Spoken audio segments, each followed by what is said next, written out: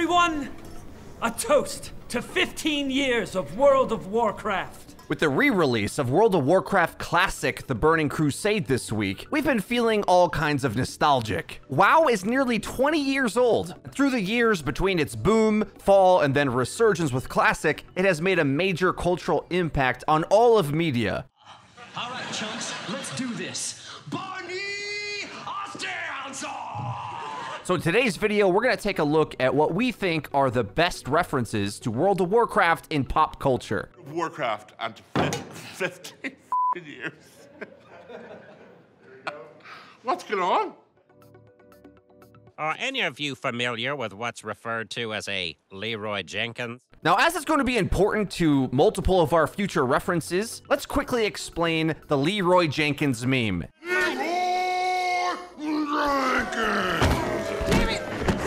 In 2005, a World of Warcraft clip went viral where a group of clan mates were discussing the plan in meticulous detail on how they were going to go about the upcoming raid encounter. Uh, I think it's a pretty good plan. We should be able to pull it off this time. Uh, what do you think, Abdul? Can you give me a number crunch real quick? But right off the break, and failing to follow the plan whatsoever, a legend was born as Leeroy Jenkins charged into battle headlong, screaming his own name as a battle cry, forever cementing a meme to refer to for whenever you have an overly aggressive teammate that just won't chill out. Going far too aggressive, leaving the team behind, and making everyone else's lives more difficult. All right, Oh, chums, you up. ready, guys, Let's or- do this. Leeroy Jenkins! Oh my god, he just ran in.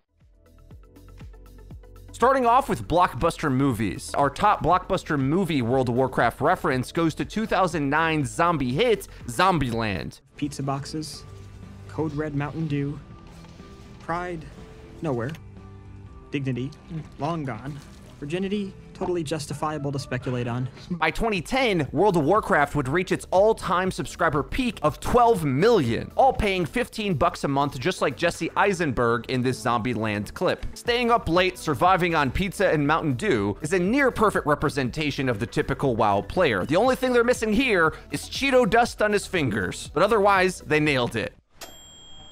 Touchdown. Yeah, it only works with Doritos. Why only Doritos? You ask too many questions, Billy.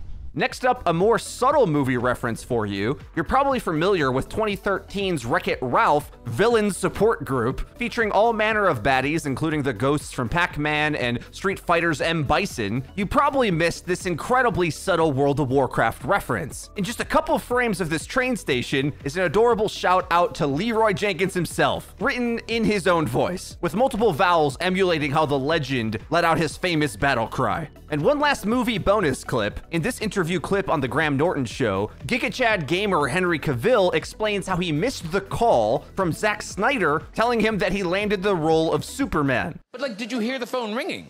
I did. And you chose to ignore it? Absolutely.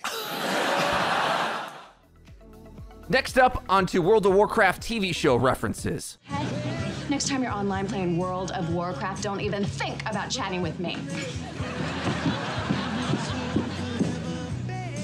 World of Warcraft? There's been a handful of these with small references, like My Name is Earl or How I Met Your Mother, imitating the historic Leeroy Jenkins charge into battle. But one of our favorites is Family Guy's 2018 recreation of the events of that fabled incident, and extra points to them for recreating the graphical aesthetics of the game itself. This Family Guy episode was Veteran Guy from 2018, just a few short years ago, really showing you the staying power this meme has and the cultural significance of World of Warcraft on pop culture on the whole. What do you think, Joe? Can you give me a number crunch real quick? Yeah, give me a sec. I'm coming up with uh, 32.33. Repeating, of course. Okay, that's a lot better than we usually do. So let's. Leeroy Jenkins! Oh my God, he just ran in. Let's go. Stick to the plan. Let's go. Let's go. But last up in the TV show references, you had to know this was coming. Famously in 2006, South Park, in partnership with Blizzard Entertainment, made the WoW centered episode Make Love Not Warcraft. I am socializing. I'm logged on to an MMORPG with people from all over the world and getting XP with my party using TeamSpeak. In 2006, the game was definitely building and growing quickly, but there definitely was a stereotype of the typical WoW player at that time, which was rife for the South Park comedy to create some of the funniest and most over the top representations of gamers ever. You can just hang outside in the sun all day tossing a ball around, or you can sit at your computer and do something that matters. An image of us that is typically used in memes online whenever anybody wants to degrade gamers. As the junk food chugging, World of Warcraft grinding no lives we can sometimes tend to be. I mean, guilty as charged, let's be honest. Hold on, this fight could last more than 12 hours. What if we run out of food? Don't worry, I have that covered. Ma'am? Yes, hon. More Hot Pockets! Right away, hon. That's uber cool.